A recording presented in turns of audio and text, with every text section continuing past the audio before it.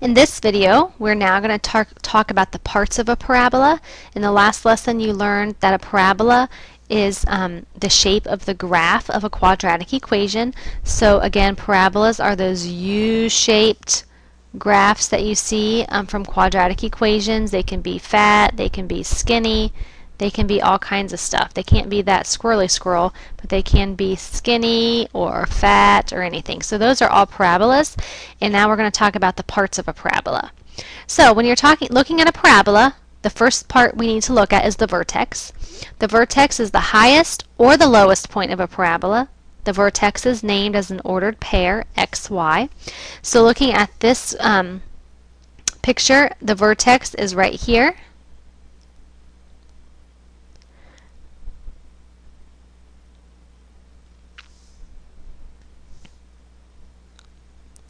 So the vertex is right there and it's named as an ordered pair xy. So on the x-axis um, it's 1, 2, 3. On the y-axis it's 0. So this is 3, 0. So that is the vertex. It's the highest or lowest point of the graph and here's right there's the lowest point and it's 3, 0.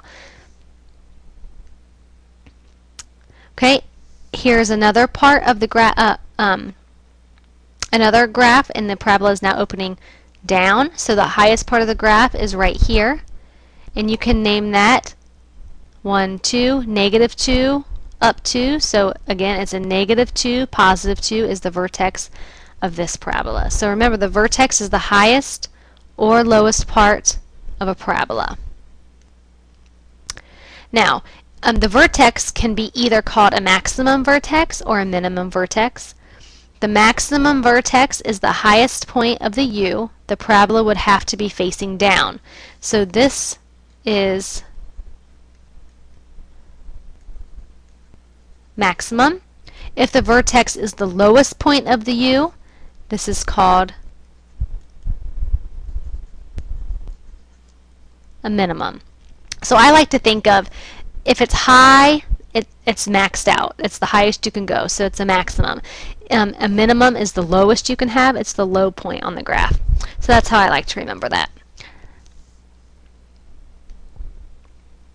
The next term is y-intercept, and the y-intercept is where the parabola crosses the y-axis. If it crosses the y-axis, it will only cross at one point. Write the y-intercept as an ordered pair. So in this case, it crosses the y axis at 0, 0. And it also is the vertex. So in this case, the vertex and the y-intercept are the same, which is 0, 0.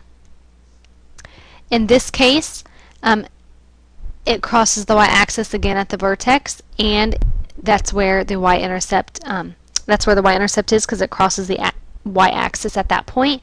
And so it is 0, 1, 2, 3, 4. So 0, negative 4 is the ordered pair of that y-intercept. The next thing we need to talk about is parabolas have lines of symmetry. And this is um, the vertical line that passes through the vertex of the parabola.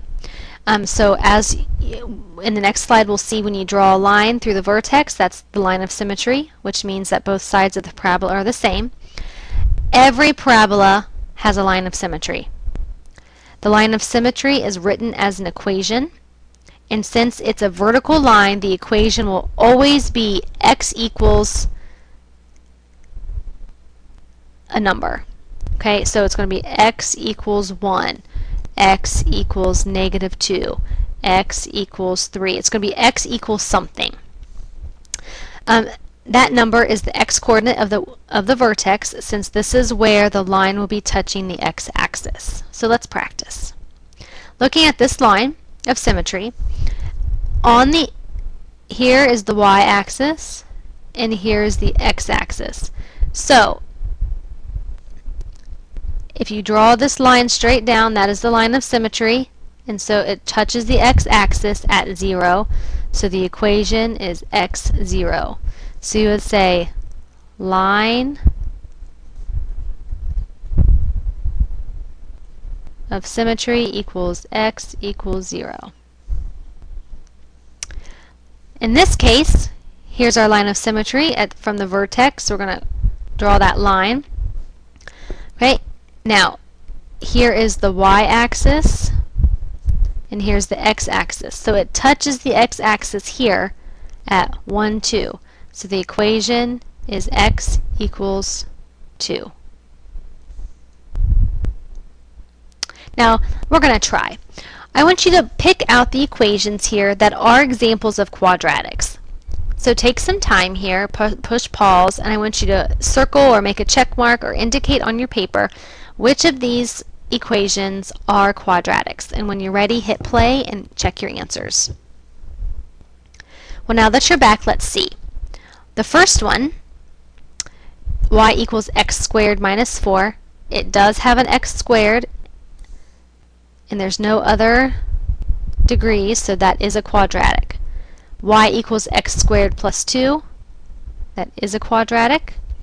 y equals 4x minus plus 2 is not y equals negative x squared is, y equals negative, or y equals 3x cubed minus 4x squared is not because it has an x cubed term, and y equals 4x squared minus 5x plus 4 is.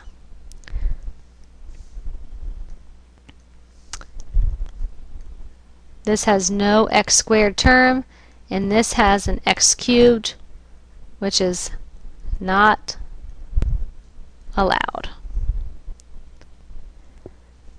Let's try this one. Does the parabola open up or down and why? The equation is y equals negative x squared plus 6. So don't use the picture, use the equation. y equals negative x squared plus 6. And 3, does the parabola have a minimum or a maximum? Press pause and try that, and then when you're ready, come back and check your answer. Now that you're back, does the parabola open up or down and why? Well, our x squared term is negative x squared, so because it's negative, it's going to open down. And does the parabola have a minimum or a maximum? Well, here's our vertex, the highest point, and because it's the highest point, it is a maximum. Using the parabola below, identify the following. The vertex, the maximum or minimum, the line of symmetry, and the y-intercept.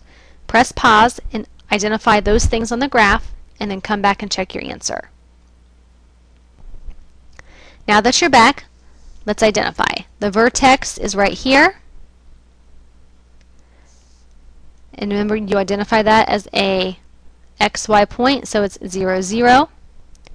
Because it's the highest point, it is a maximum.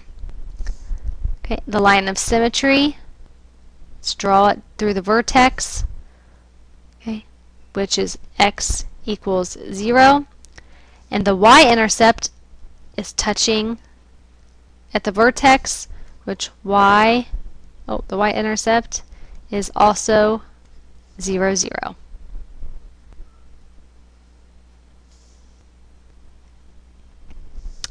Using the parabola below, identify the following. Vertex, maximum, maximum or minimum, line of symmetry, or the y-intercept. Push pause, and then come back to check your answer. Alright, the vertex is here, it's the lowest point. Okay, the vertex is negative 1, 4. Because it's the lowest point, it is the minimum. I'm going to draw my line of symmetry.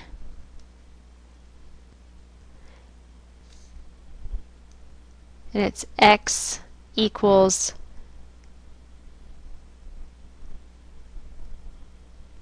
negative 1. In our y-intercept, it touches the y-intercept right here at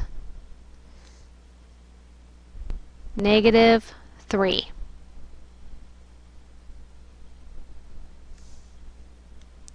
Hopefully this has helped you understand parabolas and the um, parts of a parabola. If you still need help, look, go back through the lesson or call your teacher.